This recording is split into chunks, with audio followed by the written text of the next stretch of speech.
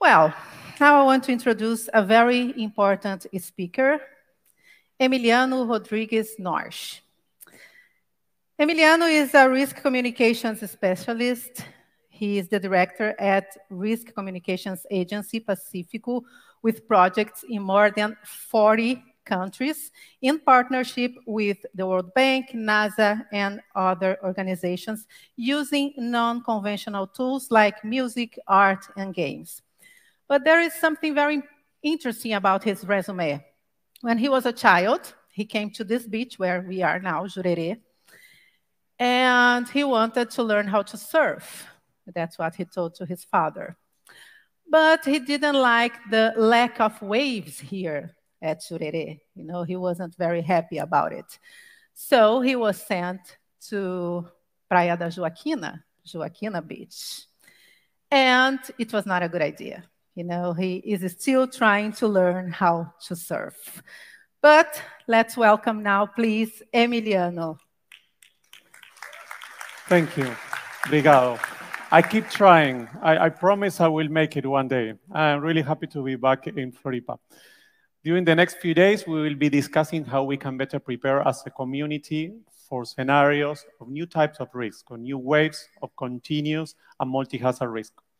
Uh, in a world that is incredibly, increasingly complex and in which we seem to be disconnected from so many of the mechanisms of the systems that we use, both technological and natural. Take the cell phone, for example. I can be a, a master using all the applications in the cell phone, but that is as long as a consumer, as, as long as I'm a consumer. But if I really want to know how this is uh, interchanging or sharing my personal data, it works like a black box. So in a way, I'm disconnected of this system that I'm using a lot. And something similar is happening to the natural events that we're dealing with. In the last month, I had a conversation with many survivors of Hurricane Dorian in the Bahamas, and having a conversation with a woman, um, she told me that for decades, they had been preparing as a family, doing what their father had taught them. But this time, for Dorian, it just wasn't enough. Like getting together as a family to ride the storm at home, taking lots of protective measures wasn't enough because it was a completely different type of event. You may call it, she said, a storm, a superstorm, but this is something different. Next time we know we will have to leave. So I guess that if we need to prepare as a community to reconnect with risk, what we will have to uh, understand the mechanism and use new lenses uh, so that we can do our work better. So what I bring today is different lenses that will help us zoom in and zoom out to connect with those systems, both the technological and the natural. These are things that I learned, uh, and I'll try to answer the question of how we will prepare, uh, what type of use of tools we will use, and also how we will deal emotionally with it. The first one is the maker lenses. And I'll start um, with those lenses because it's about building and understanding how things are built, because we want to understand how we build and we create risk. And I start with risk by nuggets. Nuggets, they don't seem, feel risky, but they are risky. They are really, really unhealthy. So this chef called Jamie Oliver, he decided to teach kids about how unhealthy they are by inviting them to cook them. So the system of risk with the nuggets is you take the chicken, you take the meat, you're not going to use the meat. You take the rest, you mix it, you add chemicals to stabilize it, and then you fry it. So the kids go. And then they completely see a new way of connecting with the risk. Of course, some of them still want to eat them, but the rest, I'm sure they will remember for the whole lives that this is risky. Let's apply that learning to early warning. Early warnings are abstract, right? Uh, understanding, uh, interpretation, detection, alerting, there's complex systems.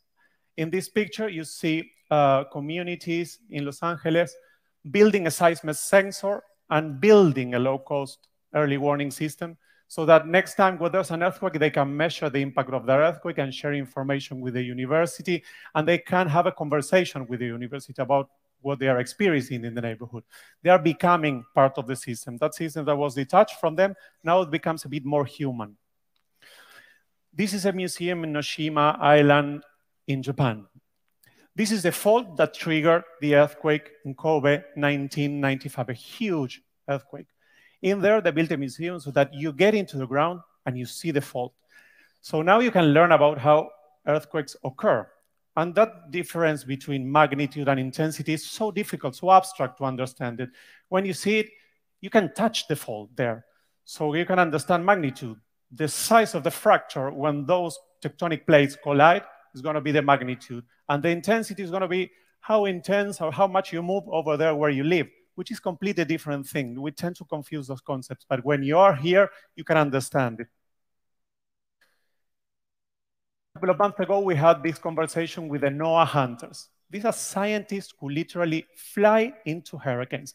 That plane is a flying laboratory. They've been flying into hurricanes for 50 years to take important measurements about wind speed, about pressures, about quantity of water. They have a first-hand feeling about what a hurricane is and what it does, and they share information with people like us on the ground to make decisions.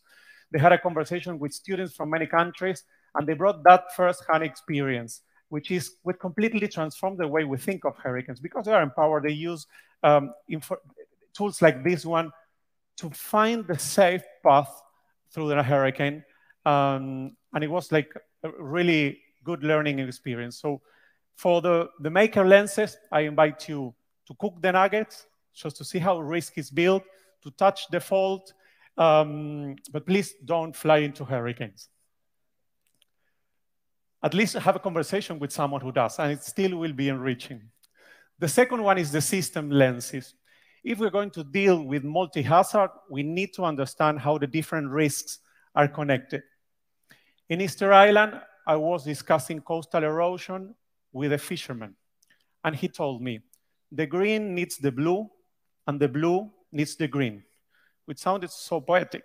And then he went on to explain how the different hazards in the island were connected, because um, a wildfire on the coast was affecting the marine ecosystems in the water. So he could see the system connecting the different type of hazards. We came out to map these um, different hazards to understand how both hazards affected the coast. The, the coast, the erosion, coastal erosion affected the sculptures that are all around the coast, that affected the tourism, and then that in turn affected the economy. So that, in a way, became a way to see the system. And we came up um, with a map of how, what are the things that increase the risk by tsunamis, what are the things that can decrease it. And this is important for us to understand what kind of interventions we can make. Because we're dealing with big risks and increasingly, comparatively speaking, with low resources to deal with them. So it's important to see how, we can make and where we can make interventions. So in a way, creating models is really useful. They are, modelists always say that all of them are wrong but some are useful. And they are, in a way, an act of humility in which we understand some things that we can change and others that we can't. For example, we divide this is the flood, but this is the impact of the flood. Okay, I will not uh, be able to fix the flood, but I can work on the impact. How can I reduce and what are the interventions that I can do to reduce the impact? And just that system thinking allows us to separate the two. The challenge there is not to become too abstract again and to be able to apply it to the real world scenarios like that fisherman who had that poetic, poetic vision of it, but at the same time understanding the mechanisms. The third one is the intervention lenses. Uh, we also call it the acupuncture lenses. Um, here in Brazil, a couple of decades ago, in the 90s, they invented the metaphor of urban acupuncture, in which they had to deal with very big, difficult problems, at the same time being able to make small-scale interventions that are there to revitalize a system. Like, anyone been to acupuncture anytime? The acupuncture uh, lens is about seeing flows of energy and identifying where energy is blocked, and then applying with a needle just to release, uh, uh to uh, reduce that blockage. When you do it with a city, the typical example is that there's a rich uh, neighborhood living in Latin America. This is very, um, we, we, did, we see it very often uh, near a poor neighborhood. There's tension, so creating a public space, a shared public space, mendels the energy. Doesn't solve the structural problem, but at least it makes a difference. Um, this learning I think is really useful for our field because we will be dealing in the next few decades with problems so big that we really need to see how we can reduce risk. Uh, and also how we can identify blockages. And uh, have an example of linguistic isolation. I've been in the same project in Bahamas, talking with the Haitian community that lives in the Bahamas that doesn't speak English, so they are linguistically isolated. If you don't speak English there, you may not receive all the prevention messages in English. So the acupuncture there is that the community is creating a local radio in Creole language so that the prevention messages get to them. And if you see it in terms of information, you, you can see there was a blockage and an online radio, which is low cost, comparatively speaking, then connects people who were isolated.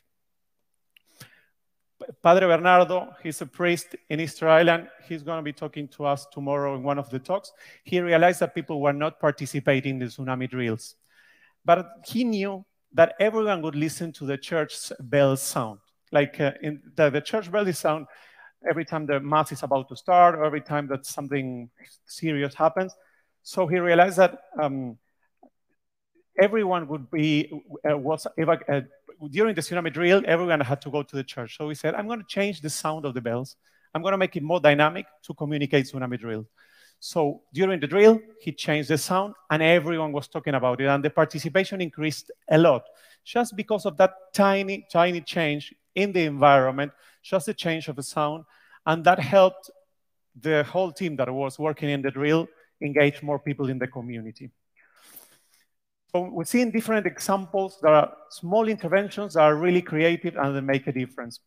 Chile and Japan, they are connected, like they are miles away, 10,000 miles away, but they are connecting by tsunamis. Whenever there's a big earthquake in Chile, it sends a tsunami that reaches Japan the, Japan the following day. Whenever there's a big earthquake in Japan, sends a, a tsunami to Chile. And that happened for decades or millennia. So every time that happens, the two countries get together. And culture takes responsibility for the tsunami. They say, I'm sorry for the tsunami that I sent you. And here's a present. And in this case, it's a Moai sculpture coming from Easter Island. I'm sorry, this sculpture is for you. And then they put that sculpture in Japan pointing towards Chile. And that present is witness of reconstruction. And at the same time, it's a risk reminder of where the next tsunami is going to come from. So again, this is just a present, but everyone, everyone in that town loves the Moai. Everyone connects with it. They have t-shirts, they have souvenirs. So that triggers a continuous conversation about an event that happens very rarely, very, very, not very often. So we discussed three lenses, and this one is about understanding behavior. And maybe the mo is the most powerful of them all if we can do it based on real insights coming from behavioral science. Like most areas coming from poly, public policy, they've been using behavioral science last decade, I would say. There are fields still have lots of potential to use it. And in particular, if we understand the power of emotions and what's, um, and if we have a systematic approach to emotions. They, tend, they tended to be overlooked during the last century, and now they are central because we know that there are no decisions without emotions. So for example, if we want to deal with eco-anxiety, like people who feel so so much anxiety about climate change, how are you going to revert that? Because anxiety is a type of fear, and that doesn't really get into action. If you talk to earth scientists, for example, they are really stressed. They are angry because they can see things in data and then they don't see the public reacting to it. So having a systematic approach to, uh, to different emotions is so important. Greta has been a very effective risk communicator through anger. And now what we know from emotions is that they have an evaluative component. That whenever we feel emotion, it's like an algorithm that triggers our connection, our interpretation of what's happening around.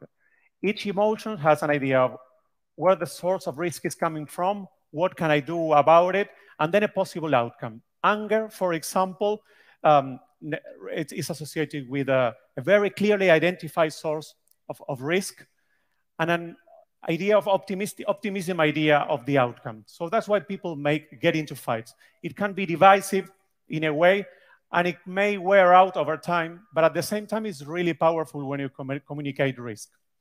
Take pride, for example. Pride uh, is really powerful when you do good, communi- good you do communications because it has this idea that I have feel an agency, I can do something about the risk that I'm dealing with.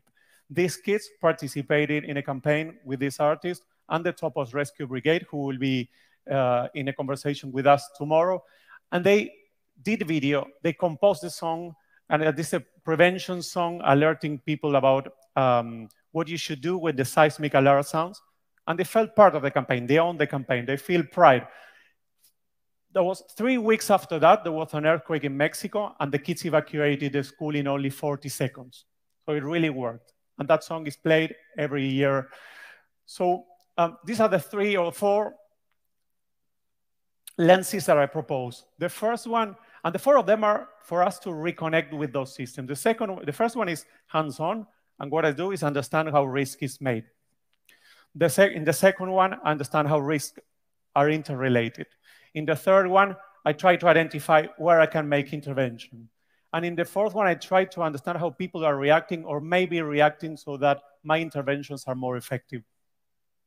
I think this is a great opportunity for us to bring your own lenses. That these lenses that come from different disciplines, from your personal experience, from different cultures. We could say that the biggest lenses of, them, of them all, that include them all, is culture. And this is what makes our field so interesting in the way that we perceive risk differently in line with our values, with our culture, with our emotion. I think this is, will be an opportunity for us to see how things look from different perspectives and different lenses that each of you bring, and that should make us stronger as a community.